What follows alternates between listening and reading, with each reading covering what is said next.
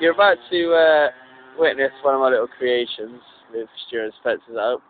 This is what a usual mini motor looks like. You'll notice mine has a chair bolted on it. Uh, I'll just hand you over to my little uh, mate. You'll notice this bike benefits from a seat. Based on a Harley. This is working model.